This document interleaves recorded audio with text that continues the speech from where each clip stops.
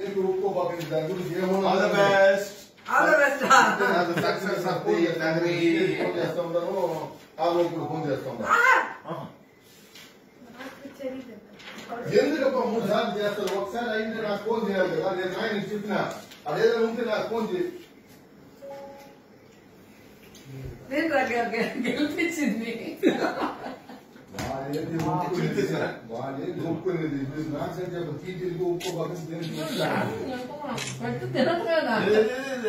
నేను పెట్ట నేను పెట్టలేదు ఓకే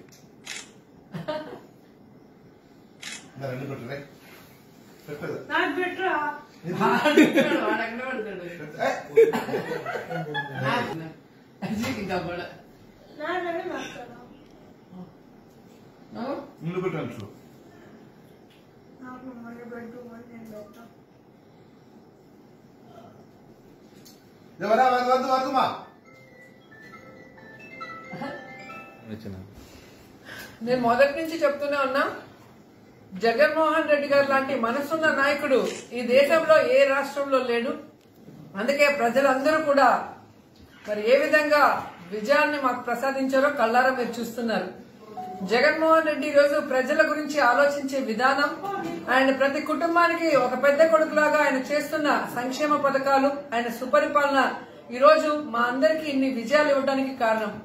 ఎవరైతే తొమ్మిది సంవత్సరాలుగా ఈ పార్టీని నమ్ముకొని జగన్మోహన్ రెడ్డి గారు ముఖ్యమంత్రి అయితే ఈ రాష్ట్రం బాగుపడుతుందని పనిచేశారో ఈ రోజు వాళ్ళందరికీ కూడా మరి సర్పంచులుగా ఎన్నిక కాబడ్డారు.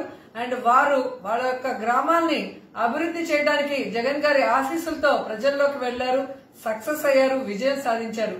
సో చాలా చాలా చాలా హ్యాపీగా ఉంది.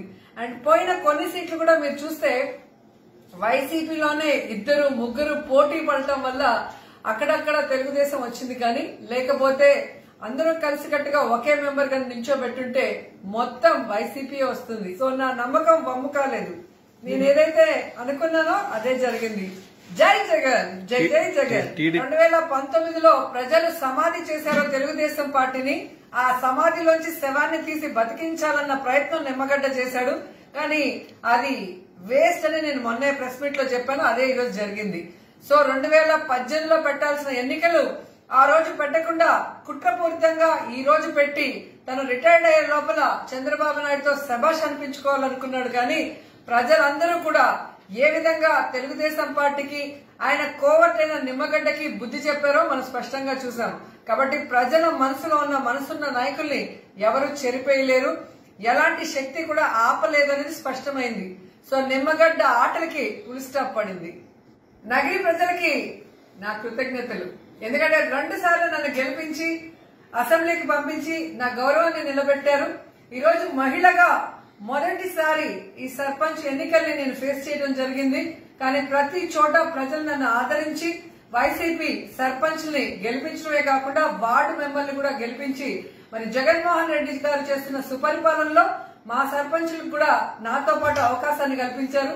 సో నగిరి ప్రజలందరికీ మరోసారి కృతజ్ఞతలు తెలియజేసుకుంటున్నారు థ్యాంక్ యూ సో మచ్